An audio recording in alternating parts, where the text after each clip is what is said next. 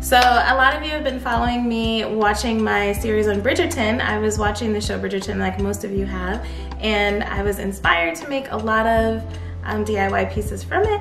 And today I'm gonna focus on a flower arrangement centerpiece for any table.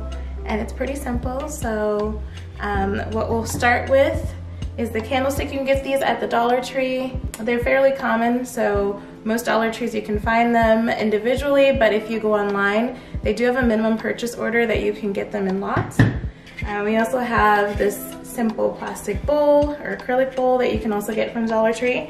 And I got some foam that I'll stick my flowers in that I got from the Dollar Tree, as well as some metallic um, spray paint. So I chose this because I feel like it's more um, in line with the Regency period.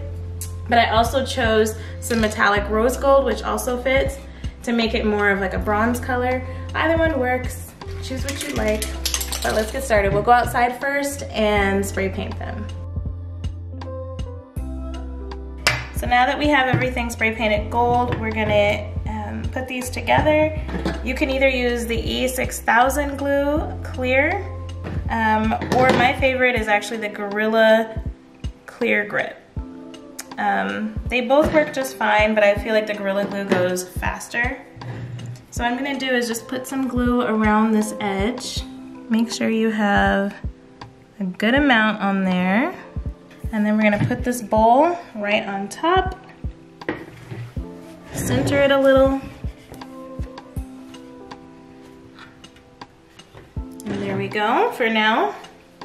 The next step we're gonna do is we're gonna take our foam and put it inside of the plate. I'm actually gonna glue it to the bottom of here sideways. So I'll put some more adhesive at the bottom of here. And stick it in. And we're gonna let this sit for about 20 minutes to an hour.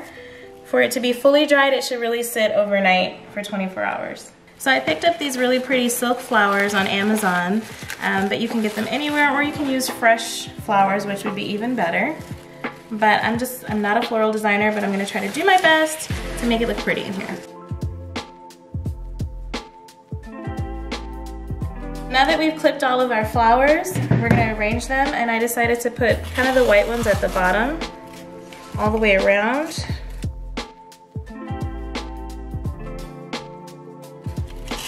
Try to be as symmetrical as you can. It's the only tip I have. Other than that, I don't really know much about arranging flowers. I just know it looks good.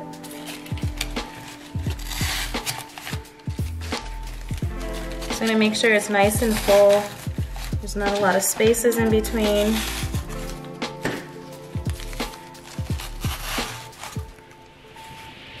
Isn't that pretty already? Looks nice. We'll do this. And now that we have them pretty full all the way around, I'm gonna add these really pretty big flowers to be towards the middle.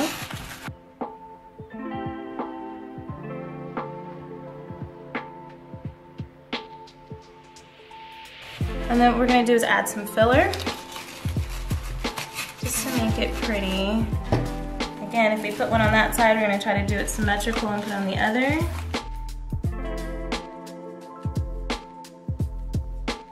Just to fill in any space that was kind of left empty. Let me see.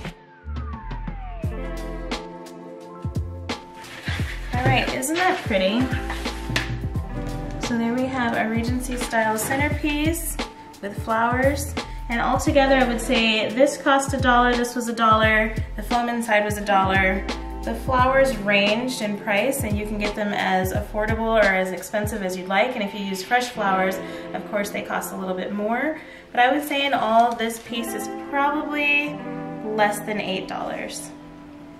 And you can put as many flowers as you want, but this one's pretty full as it is.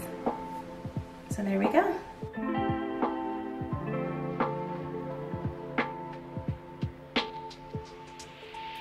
Okay, and just in case you would like to have a taller version of this, I'm gonna show you how to do it taller. So we'll start out with these spray painted candlesticks again, and we're gonna put them together like the taller version of um, the centerpiece that I did at my wedding that you can see on TikTok. So here we go.